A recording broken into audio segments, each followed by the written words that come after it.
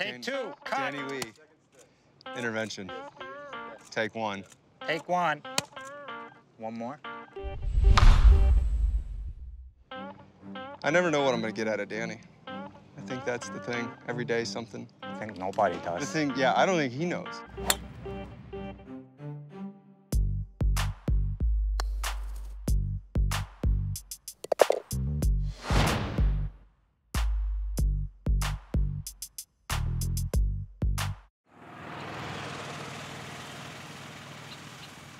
I think you're to the point where you're like, I don't even want to look at it. I don't care.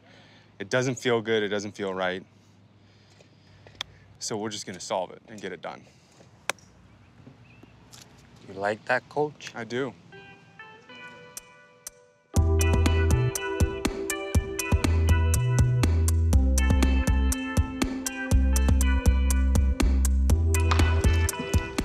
It's definitely better for me to think about left knee.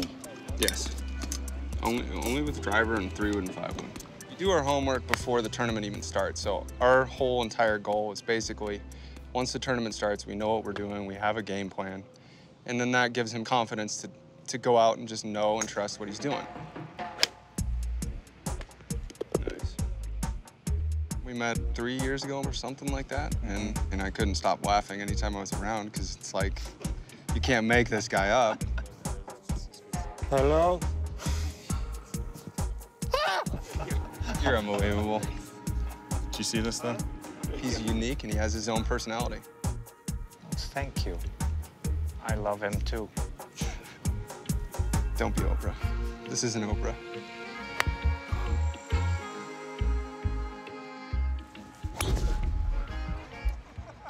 Oh, God. God, I hate drivers right now. What do you feel there? Swing wise. Nothing. Nothing? Calm down. I can see the anger building.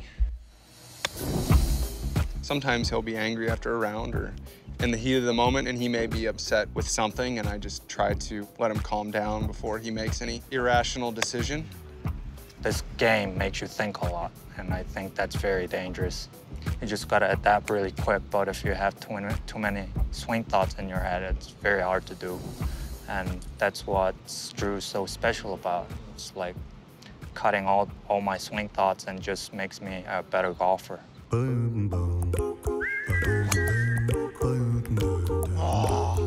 Don't do it.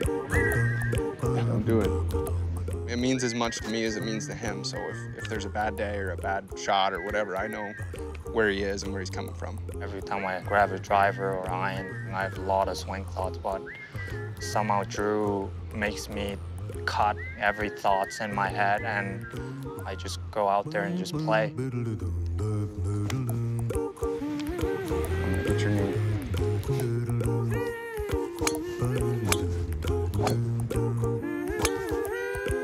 There you go.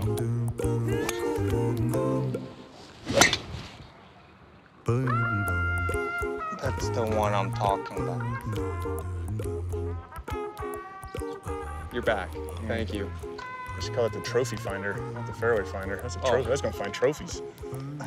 Thank you. I'm happy now.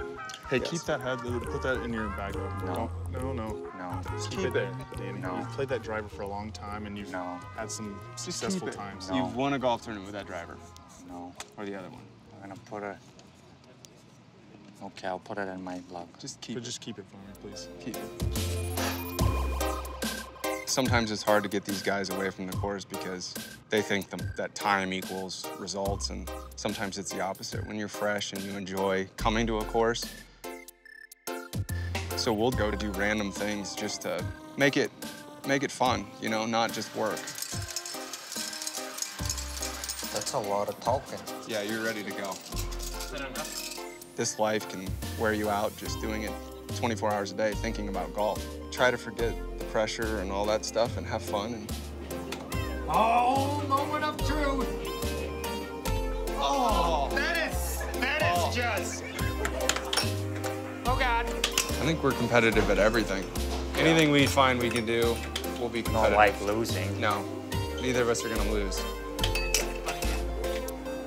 Danny wins. I'm the champion. No, Thank we're you. tied. We're tied.